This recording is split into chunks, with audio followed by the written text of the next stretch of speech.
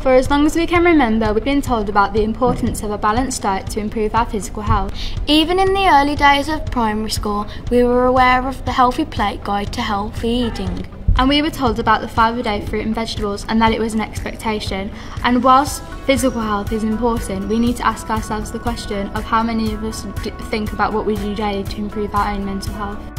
After all, isn't our mental health as important as our physical health? If our mental well-being is low, doesn't that mean all aspects of our life are more difficult? Achievement in life isn't just about academic success, it's about achieving balance and happiness. And this is where Mindapples comes in. So let's start with clarifying what Mindapples is and how it can help you.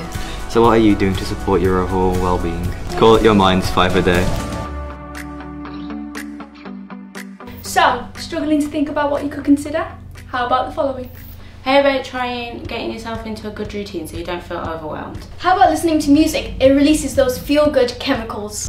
Another way to help mental health would be socialising in the real world, staying off the virtual world as this can really affect your mental health in very negative ways and usually bring you much more down. What about practicing gratitude? It can make us realise how good things we have in our life. Got a dog or a cat? How about you play with pets? It helps you with stress and it helps your pet as well. And you can also surround yourself with people you love.